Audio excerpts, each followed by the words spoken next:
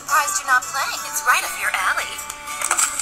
How come you're not playing? Don't like what they're wearing? Not everyone's obsessed with sports, you know. Are you carrying those logs to look tough? That's not an accessory. That's called firewood.